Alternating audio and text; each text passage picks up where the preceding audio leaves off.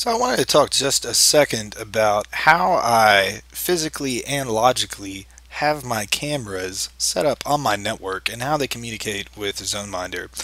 So uh, I have beautifully constructed this diagram to show you the inner workings of my home network here.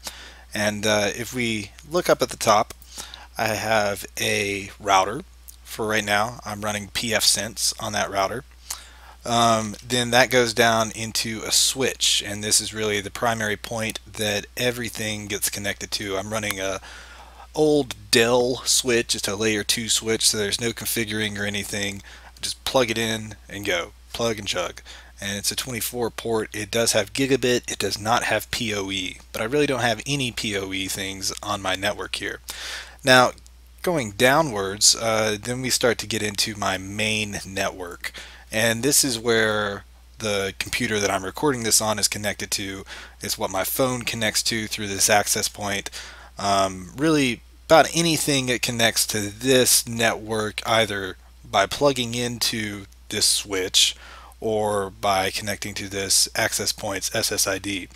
Now, we will notice that down here, this is also where my VMware server is. Uh, both of them actually are connected here. I have two hypervisors, but the one that I'm concerned with for this video is right here and it's hosting my ZoneMinder server. So we'll talk more about that in just one second. Now, going to the right off of the switch, and that's just logically, it's not physically, it's actually strung throughout my house on all kinds of different cords and stuff, but I have a separate WRT54G set up.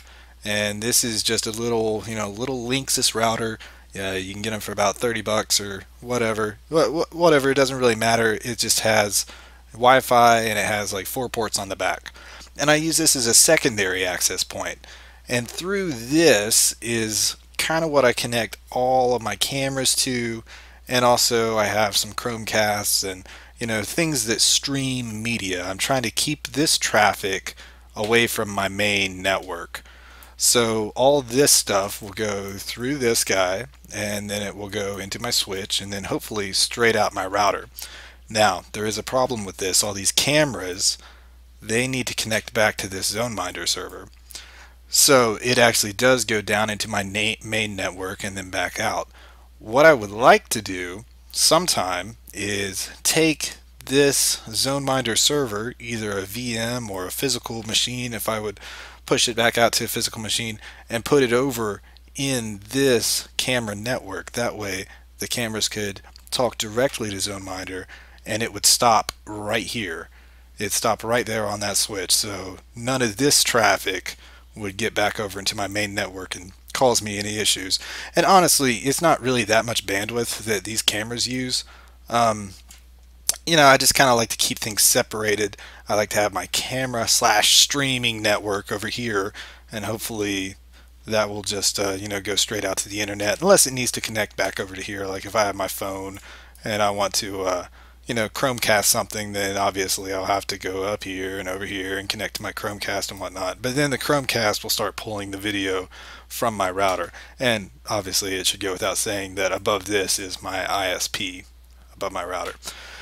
So uh, that's just a real quick breakdown on my camera network and my main network and how I have those segregated um, from my from my you know segregated in between each other. So they're not actually really talking to each other or I'm trying to minimize the communications between these two networks.